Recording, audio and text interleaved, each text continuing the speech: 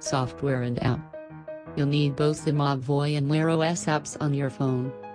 Works with both iPhone and Android devices. Wear OS may take you a little time to learn, but it's easy to use. The TicWatch Pro itself runs Wear OS software, which is much the same as we've seen on existing Android Wear watches. Google has since rebranded its platform to reflect the fact that more and more iPhones users are embracing devices on the platform.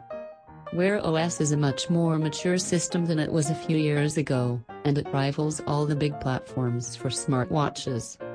You have access to all the Wear OS apps in the Google Play Store, it's a limited selection compared to what's available for smartphones, but it's one of the widest ranges for a smartwatch OS.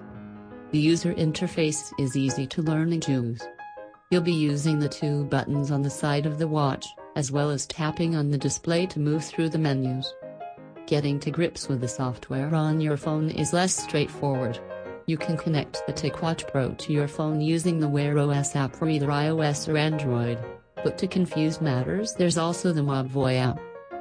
The watch demands that you download this, but its functionality is notably limited.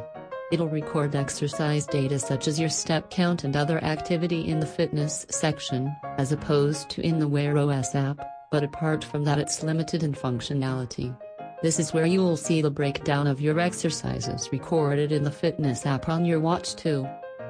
The OS is easy to use on the TicWatch Pro, but the phone app doesn't impress us and we'd like to see Mobvoi enable some new features and give the app a bit of a redesign.